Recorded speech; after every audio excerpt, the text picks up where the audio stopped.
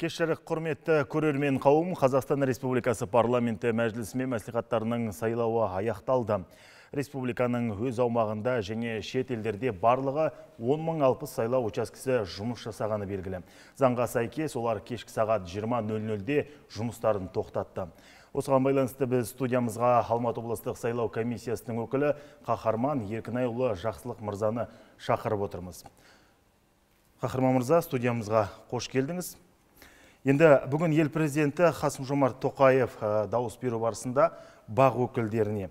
Бұл сайлау бәрімізге әсіресе азаматтық қоғам үшін үлкен сынақ деген еді. Енді осы орайда бізде Алматы облысында сайлау қалай өтті? Енді қайырлы кеш баршаңызға 2021 жылғы 10 қаңтарға белгіленген Қазақстан Республикасы парламенті мәжілісі мен мәслихаттар депутаттарының сайлауы Алматы облысында енді өз дәрежесінде өтті деп айтуымызға болады.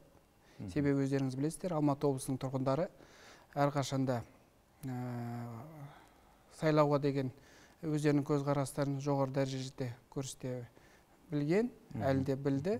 Енді бүгінгі күнге ә, шамамен 73 пайыз ә, облыстың тұрғындары біздің бүгінгі сайлауға қатысып отыр. Бұл болжамдар бойынша әлі де нақтыланатын болады. Жақсы түсінікті. Енді жетісулықтар бұрынғы сайлауларда да осындай белсенділігімен өздері атсалысатын енді бұл жолғы сайлауға жалпы көзгеріс көзқарас қандай болды? Енді тұрғындардың өздеріңіз де көріп жатқан боларсыздар бұқаралық ақпарат құралдарында тұрғындар өздерінің көзқарастарын білдіріп жатты. Биылғы сайлаудың ерекшелігі бұл жерде бізде бес партия қатысып отыр. Бес партияның өкілдері жаңағы депутаттыққа ұсынылды.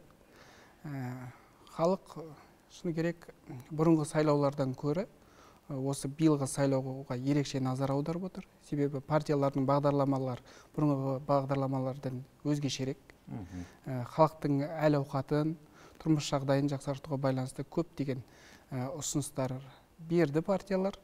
Енді халық сеніммен қарап отыр. Жалпылама айтқанда осы сайлаудың қорытындысы бойынша партиялардың жұмысы қандай дәрежеде жете, дәрежеге өседі. Осы бойынша халық көп сенім білдіріп отыр. Ашығын айтқан кезде. Жақсы. Енді мынау сайлау барысын алматы облысында қанша бақылаушы қадағалады? Жалпы тәуелсіз бақылаушылар тарапынан қандай да бір сын ескертпелер әлде осы сайлау талаптарының бұзылған фактілер болды ма? Енді алматы облысы бойынша бізде 8335 байқаушы бүгінгі сайлауға атсалысты. Байқаушылар өз дәрежесінде сайлау участоктерінде барып тіркеліп жалпы сайлаудың өту барысын байқап қарап отырды енді кереметтей заң бұзушылық фактілер тіркелген жоқ күрделіде бәрі өз дәрежесінде өтті. Енді мынау республика бойынша өңірлер көрсеткіші енді айтыла жатар. Алматы облысы бойынша дауыс беруде қай аудан қалалар ерекшеленді? Белсенділігі жағынан. Енді жаңада айтып өттім ғой бүгінгі сайлау өзі ерекше болды деп. Себебі облысымыздың барлық аудан қалалары бірден жаңағы тұрғындары сайлауға бірден атсалысып кірісіп кетті. Барлық сайлаушылар белсенділік танытты деп айтуымызға болады. Себебі сайлаушылардың жетпіс үш пайызы бұл сайлауға бүгінгі күні қатысты. Жетпіс үш пайыздан астамы. Жақсы. Енді мынау талдықорған бойынша жалпы талдықорған облыс орталығы болғаннан кейін айта кетіңізші талдықорған талдықорғанда қанша сайлау учаскесі жұмыс істеді қанша адам дауыс берді шамамен? Енді жетісудың жүрегі облыс орталығы талдықорған қаласы әрине бәріміздің шыны керек назарымызда болды.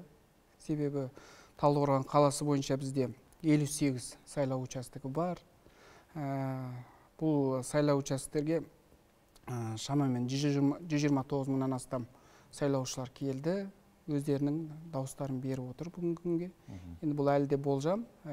Бюллетендеріміз нақтыланып саналғаннан кейін тағы да қосымша ақпараттар берілетін болады әрине.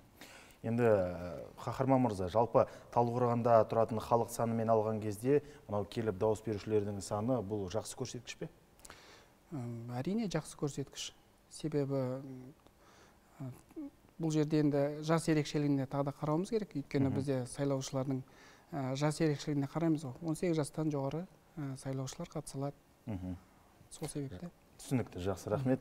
Енді мынау жасыратын жоқ бұл сайлау коронавирус қаупі сейілмей тұрған шақта өтіп отыр. Сондықтан мынау санитарлық қауіпсіздік шараларын сақтау талаптары өз деңгейінде болды ма?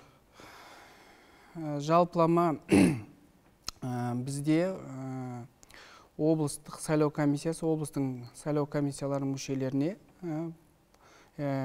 жеке қорғау құралдарын толығымен қамтып берді. Бұл жерде жаңағы үш қабатты медициналық маскалар соған тұманға төзімді жабынды жаңа поликарбонатты бет пердешелер бет қалқан дейміз ғой сосын гелий антисептигі одан кейін жаңа вахил жиынтықтағы бір рет қолданылатын комбинезондар берілді. Сонымен қатар кілемшелер антисептиктер. Толық біздің учаскеде барлығы қамтылды. Сондықтан да ковидке байланысты біз санитарлық эпидемиялық жағдайға байланысты барлық мүмкіндікті жасадық. Яғни сайлаушыларға да біздің сайлау комиссияның мүшелеріне де. Енді осы тұрғыда сайлау комиссиясының мүшелері дегенде сайлау учаскелерінде отыратын адамдар алдын ала птр тест тапсырып барған шығар. Бізде иә сайлау комиссияларының мүшелері әрине птр тест птр тесттер тапсырды. Бізде птр тесттер тапсырған кезде екі адамымыздан жаңағыдай анықталған болатын. Оған біз резервте тұрған адамдарымызды орындарына қойдық. Біз әр участокке жаңағы қосымша резервке адамдар дайындап қойған болатынбыз. Сол жерден адамдар алынып сол адамдардың орындарын алмастырдық. Енді қаһарман мырза сізге осылай уақыт бөліп біздің студиямызға тікелей эфирге келіп сұхбат бергеніңізге рахмет айтамыз. Рахмет.